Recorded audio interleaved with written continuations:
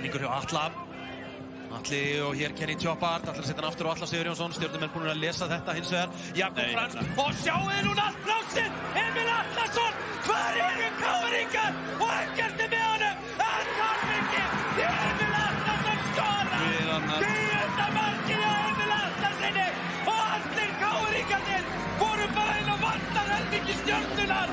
Sendingin inn fyrir kom þannig að Emil var fyrir aftan. Þannig að þurfti ekki sem var í rámstöðum. Nei, þetta er alveg Þetta er grátlegu vartanleikur í Káver Þeir voru komið svona voru líklegir fyrir þessu Þeir gleyma sig algjörður Tveir enn á sama flúti og Emil er náttúrulega með eitthvað flugur fyrir fram að sig og, og hann er basically Það er sigur á hægri fótinn og ætlar að tróða á ægi. Ægir Jarl næra skílunum. Ægir Jarl með skotið fyrir að í káring. Boltinn hekka fyrir Stefán Árna. Geirsson!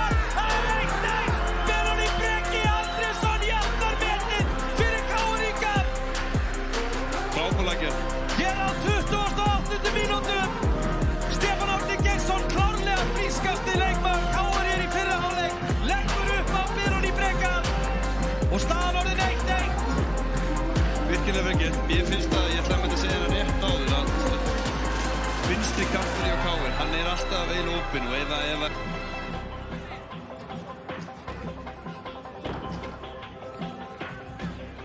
að Daniel Lagstall Lagstall með sendingar hérna og hér er Emil Allarsson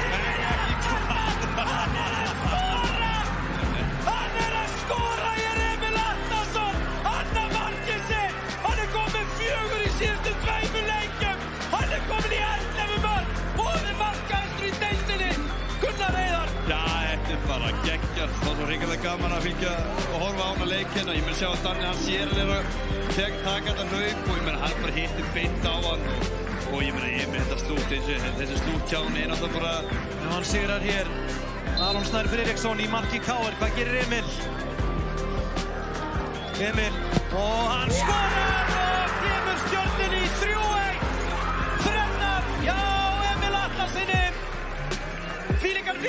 sem þessi gæir að eiga og fílingar vikur og mánuður sem stjarnan er að eiga já enda sérst að hérna fyrir stúkunni.